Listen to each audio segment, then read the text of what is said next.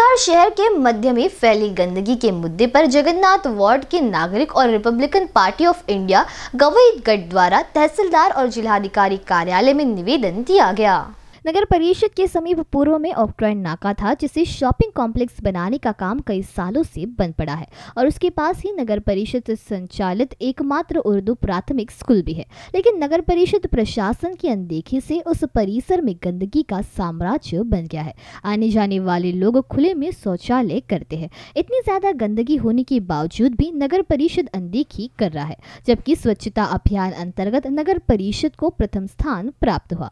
आखिर किस हिसाब हिसाब से प्रथम पुरस्कार विजेता बनी नगर परिषद, ये सवाल।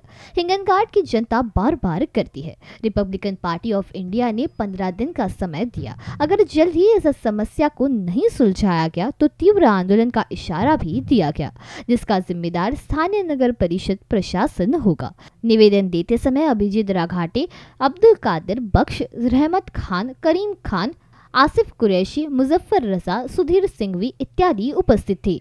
तहसील ऑफ़िस हिंगन घाट में एक निवेदन दिया और निवेदन में ये मांग रखी है। नगर परिषद के बाजू में जो ऑक्टाई नाका एक ज़माने में हुआ करता था, आज वहाँ पे कूड़ा घर बना दिया गया है। उसके समस्या के लिए हमने आज तहसीलदार साहब को एक निवेदन दिया और कल कलेक्टर मैडम को भी इसी समस्या से अवगत कराने के लिए एक निवेदन दिए और उस निवेदन में मांग रखी है जो पिछले 10-15 सालों से ऑक्टाई नाके में नगर परिषद द्वारा और स्थानीय होटल लाइन द्वारा वहाँ पे जो कचरा डाला जाता है, जिससे बहुत ही ज़्यादा गंदगी उस प्रभाग में हो रही है।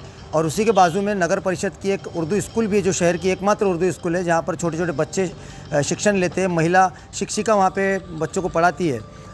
इस तरीके की वहाँ पर एक स्कूल होने के बावजूद भी नगर परिषद इस गंदगी के मुद्दे पर कोई ध्यान नहीं दे रहा।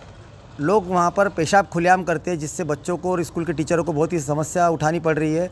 और एक बाजू में कुछ साल पहले एक आंदोलन के ज़रिए वहाँ पे एक शौचालय बनाया गया था, जिसमें पेशाब करने के लिए भी दो रुपये लिए जाते हैं, जिसकी वजह से वहाँ के जो मार्केट लाइन के जो लोग हैं, स्थानीय नागरिक है, वो दो रुपये न देते हुए खुलेआम वहाँ पे शौचालय करते हैं, जिससे बहुत गंदगी हो रही है, बच्चों को बहुत ही वहाँ पर बीमारियों का भी सामना करना पड़ रहा है। दूसरी ओर नगर परिषद को पिछले सालों एक पुरस्कार मिला स्वच्छ भारत अभियान अंतर्गत प्रथम पुरस्कार मिला तो हम ये नगर परिषद से सवाल करते हैं कि आपको पुरस्कार किस लिए दिया गया? क्योंकि जिस तरीके की शहर में और आपके नगर परिषद के बाजू में जो गंदगी है इससे तो लगता नहीं कि इंगनघाट की नगर परिषद नंबर वन होने लायक है। और अगर आपको वाकई में नंबर वन का खिताब मिला है तो उस लायक आप काम कीजिए और अपने नगर परिषद के नाक के नीचे जो गंदगी है उसे जल्दी से जल्दी साफ़ करें। अन्यथा रिपब्लिकन पार्टी ऑफ़ इंडिया के साथ में हम स्थानीय नागरिक त्रियो आंदोलन करेंगे। उसका जिम्मेदार नगर परिषद प्रशासन होगा। बीसीएन न्यूज़ के लिए हिंगन घाट ऐसी रवि यनोरकर की रिपोर्ट।